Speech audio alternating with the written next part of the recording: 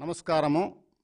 నా పేరు సివేరి దొన్నుదొర తెలుగుదేశం పార్టీ రాష్ట్ర ఎస్టిసెల్ అధ్యక్షుడు.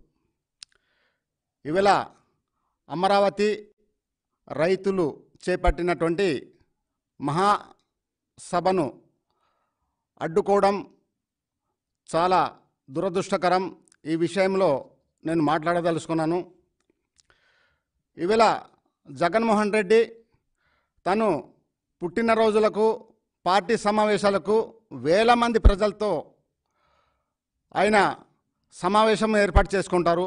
కానీ అమరావతి రైతులు ఇవాళ నలభై ఐదు రోజులు పా పాదయాత్రలు ముగించుకొని ఇవాళ మహాసభ తిరుపతిలో పెడతా ఉంటే ఎక్కడికెక్కడ అడ్డుకోవడం చాలా దుర్మార్గమైనటువంటి పరిస్థితి. శ్రీకాకుళం మొదలుకొని చిత్తూరు వరకు ప్రజలు స్వచ్ఛందంగా మాకు ఒకటే అమరావతి కావాలి. అది అని కోరుకుంటూ ఈ ప్రజలందరూ స్వచ్ఛందంగా మహాసభకి తరల తరలి వస్తుంటే ఎక్కడికక్కడే అడ్డుకొని మహాసభని విజయవంతం కాకుండా అడ్డుకోవడం ప్రయత్నం చేస్తూ ఉన్నారు.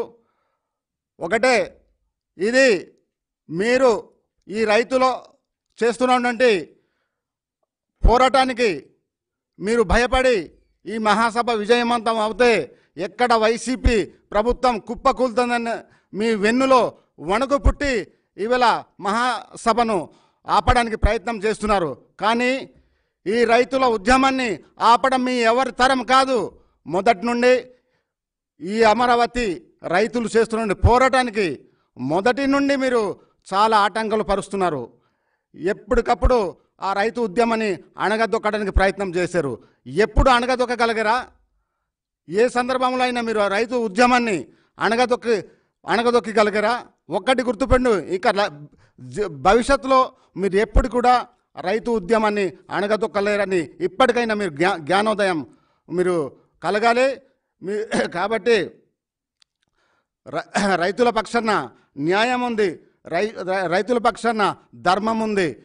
ఈ యొక్క అమరావతి రైతులే కాదు రాష్ట్ర వ్యాప్తంగా ఉన్నటువంటి రైతులు యావత్తు మన గిరిజన ప్రాంతంలో ఉన్నటువంటి గిరిజనులు కూడాను అమరావతి రాజధాని కావాలని మనస్ఫూర్తిగా కోరుకుంటున్నారు. మీరు ప్రతిపక్షంలో ఉన్నప్పుడు మీరేమన్నారు? అమరావతి ఒకటి రాజధాని కావాలి అని చెప్పారు. మీరు మడమ తిప్పని మాట తప్పని వంశం అంటున్నారు. ఆ రోజు అసెంబ్లీ సాక్షిగా మీరు చెప్పిన మాట ఏంటి? మీరు ఇచ్చినటువంటి మాట ఏంటి? ఇప్పుడు చేస్తున్నటువంటి పనులు ఏంటి కాబట్టి ఒకటి జగన్మోహన్ రెడ్డి గారు మీరు మీ వెంటనే మీ నిర్ణయాన్ని మీరు మార్చుకోండి. ఈ అమరావతి రాజధానిని మీరు అంగీకరించాలి అంగీకరించి తీరాలి. మీరు అంగీకరించకపోతే రాబోయే రెండు వేల ఇరవై నాలుగులో మీ పార్టీ భవిష్యత్తు మీ మీ పార్టీ పూర్తిగా తుడిచిపెట్టుకుని పోయే పరిస్థితి ఉందని ఈ సందర్భంగా నేను తెలియజేసుకుంటున్నాను. కాబట్టి మీరు ఒకటే ఇప్పటికైనా రాజధాని రైతులను చేస్తున్నటువంటి పోరాటానికి మీరు మద్దతు ఇవ్వండి మీరు ఒకవేళ మీరు ఈ ఆటంకాలు మీరు ఈ రకంగా పరుస్తున్నట్లయితే మీరు ఖచ్చితంగా రాబోయే రోజుల్లో దానికి తగిన మూల్యం చెల్లించుకుంటారని ఈ సందర్భంగా నేను తెలియజేసుకుంటూ ముగిస్తున్నాను.